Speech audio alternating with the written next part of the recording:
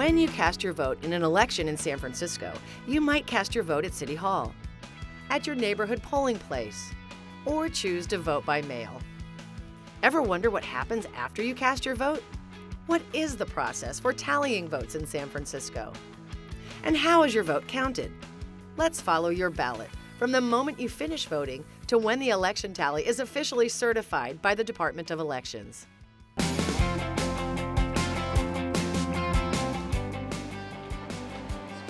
First, we'll look at what happens to your vote at a polling place. When you cast your vote, your ballot is fed into a Dominion voting systems machine called an Insight. It reads your ballot, and the data is stored inside on a memory cartridge. Dominion Voting Systems, based in Denver, Colorado, provide San Francisco with voting machines, high speed ballot scanners, and software used to count votes. When the poll closes, the memory cartridge is removed from the Insight by the poll supervisor, known as an inspector. The cartridge is stored in a special anti static bag and sealed. Then, a San Francisco parking officer takes official custody of the cartridge to deliver it to City Hall. Thank you. Have a good night. The custody of the actual completed ballots is transferred by the inspector to a deputy sheriff, who delivers them on election night to Pier 48, managed by the Department of Elections. All right. On election night, Pier 48 is a hub of activity. Sheriffs bringing ballots from polls line up outside, waiting for their turn to deliver to the teams inside the pier.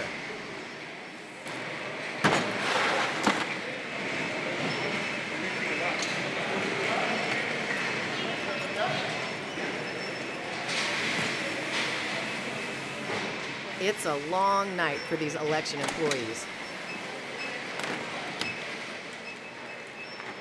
Staff unpack and sort all the ballot bags and account for all of the rosters, any provisional ballots, vote by mail ballots dropped off at polling places, and the sealed containers from edge machines. The Insight ballots are counted by a machine to verify the Insight machine total of ballots entered for each polling place. There's still more to do with these ballots, and we'll get back to them a little later.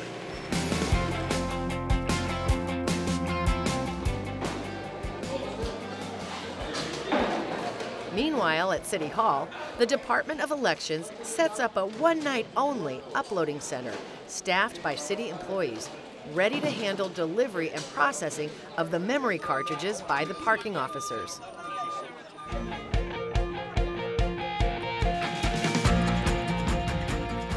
On election night, we set up the uploading center here at City Hall uh, so we can process the votes as quickly and accurately as possible. First, the sealed election bag is placed on a reader which records its delivery. Next, the cartridges and custody transfer papers are unpacked and checked in by our staff. Then the cartridges uh, with the votes for each precinct are fed into readers, which are running Dominion Win EDS software. These readers transmit the vote result by a closed fiber optic line directly to the department's computer room for tabulation.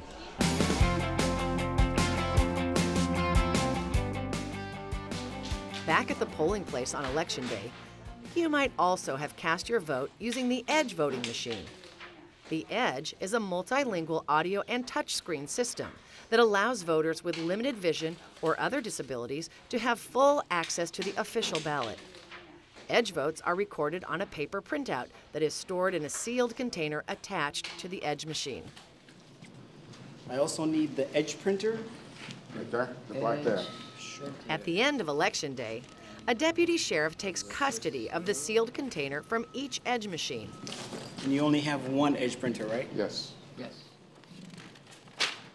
And these deputies transport the sealed container along with the sealed bags containing the voted ballots to the department's warehouse on Pier 48.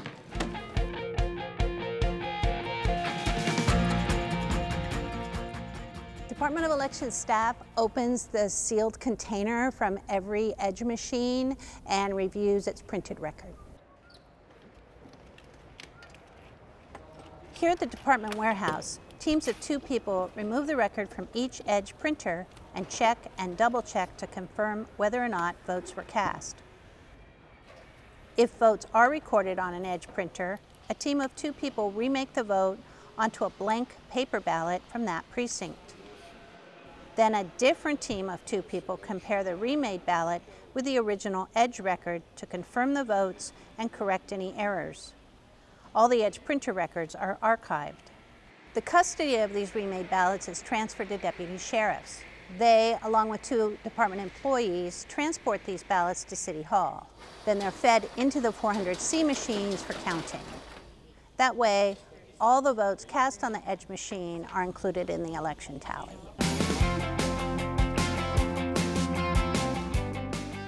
Voters are encouraged to vote at their assigned polling place. People who cast their vote at a polling place other than their assigned polling place are called provisional voters. Their ballots are placed in special envelopes and taken to City Hall for voter verification by election staff. Verification includes checking to see if the voter is registered in San Francisco. If the voter is registered in San Francisco, their votes are counted for the correct contests for where they are registered.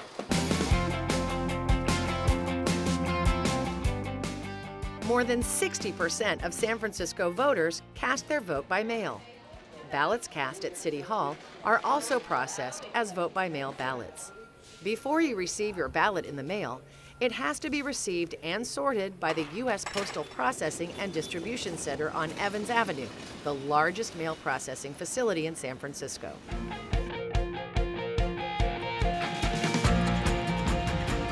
So it's a, a quite a large operation, about 1,500 employees throughout three shifts. It runs 24-7, 365 days a year. And today what we have is uh, the day when all of the ballots for the city of San Francisco have arrived at the plant. And from here, they'll be processed uh, for delivery. So over here, we have a truck that has already come in.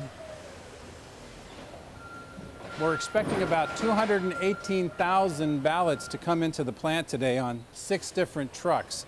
And so far we re we've received three of the trucks and as you can see there's a lot of mail here. Right now we're getting ready to run the mail on a digital barcode sorter. First we put it into carrier route sequence and then we put it into carrier walk sequence so it's really efficient for the delivery of the ballots out to our constituents. Voters drop off nearly 25% of all returned vote by mail ballots at polling places rather than using the mail. At the end of the day, custody of these ballots is transferred to a deputy sheriff who transports them to Pier 48. At the pier, ballots are collected, the number returned is noted, and quickly transported by two deputy sheriffs and two department employees to City Hall for processing. Before any counting of any vote by mail ballot can happen, the voters' signatures must be verified. So, first, the unopened vote by mail ballots are run through a scanner, which takes a picture of the envelope barcode and voter signature. The barcode identifies the voter and precinct, and this information, along with the voter signature, is sent electronically to the Voter Services Division for verification.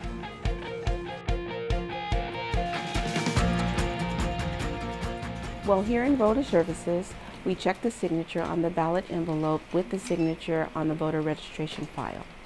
The voter's name, precinct, and signature are entered into the Election Information Management System. Staff reviews the voter's information and signature on file and visually compares the signature. Then we accept or challenge the validity of the ballot. If the ballot is accepted, the voter's record notes that they have voted in this election. The acceptance status of the ballots is then sent electronically back to the scanner. The envelopes are run through the scanner again to sort out any unverified ballots. On the second scanner pass, the ballots are also sorted by precinct. Voter Services staff then re-examines each challenge ballot, making extra effort to contact the voter and assist them to correct the ballot so it can be verified and their votes count.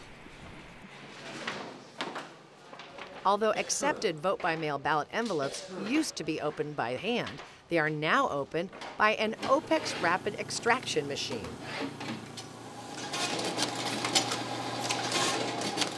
It helps open the envelope on two sides and these suctions on the machine that opens the flap, uh, it pulls it out so then it's, you can just reach in and easily pick up the, the ballot. It's probably twice as fast as a manual process. The ballots are then scanned by a Dominion 400C high speed scanner, which actually counts votes on each ballot card. At the same time, employees check the Dominion tally sheet and compare it to the machine printout. The scanner sometimes can't read a ballot due to damage or light markings by the voter. These ballots are transferred by hand to a new ballot by a two person team. These new ballots are then run through the scanner and the votes are added to the final tabulation. Wonder where your ballot is once you've mailed it? Thanks to a unique service of the department, you can confirm your ballot was received, check the status in progress, and confirm your vote was ultimately counted using the department's ballot tracking tool at sfelections.org. At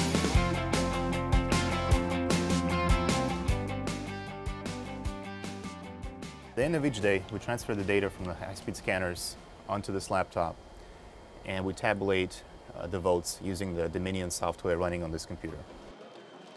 On the server, these votes are combined with the votes already transmitted from the memory cartridges.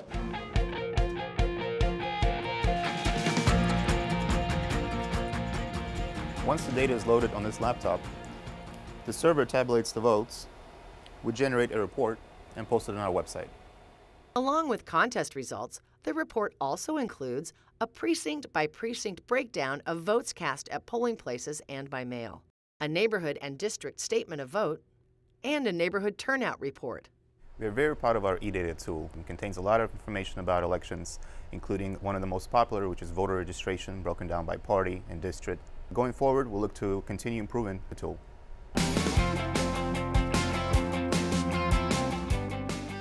You'd think that's the end of this story, but there's still more work out at Pier 48 that needs to be done. California Election Code requires a public manual tally of ballots representing 1% of the precincts which are chosen at random by an election official.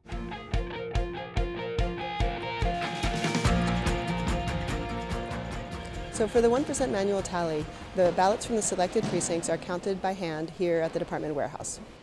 Basically, teams of four election employees check if the votes on the ballot match the machine tally. There are three steps to this public manual tally. First, in each team, one person calls the vote from the ballot, while another person observes the vote on the ballot, and two people tally the vote that is called. Second, the two tally people confirm that they have the same results.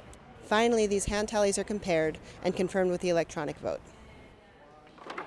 This 1% manual tally is one of the last steps in declaring the final official results of the election.